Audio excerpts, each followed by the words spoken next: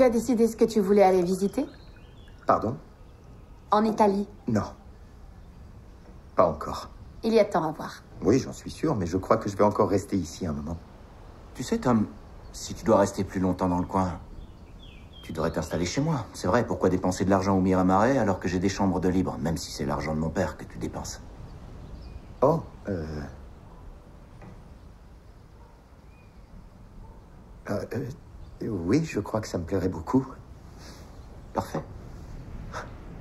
Merci.